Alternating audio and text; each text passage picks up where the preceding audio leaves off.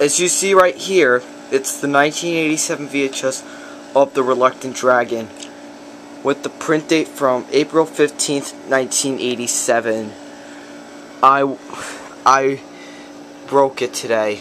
As you can see, it is badly damaged and will never be able to play again.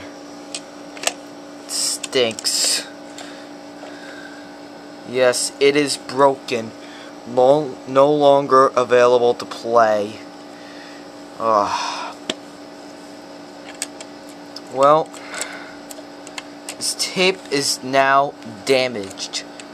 But what am I going to do with the case? I'm going to keep the case.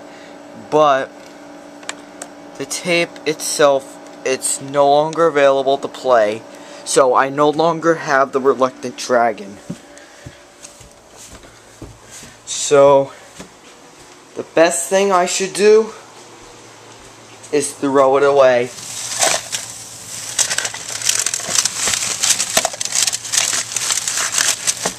Yep.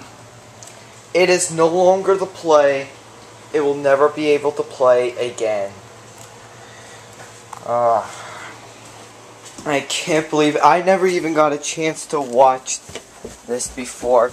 I never even got a chance to watch The Reluctant Dragon. But, like I said, I'm going to keep the case.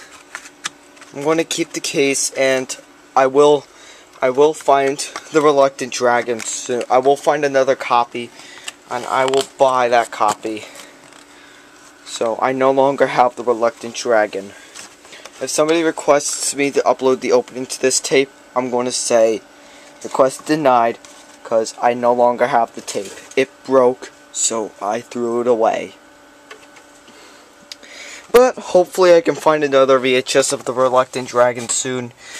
Uh, at least it wasn't these other tapes that broke. So I no longer have the Reluctant Dragon.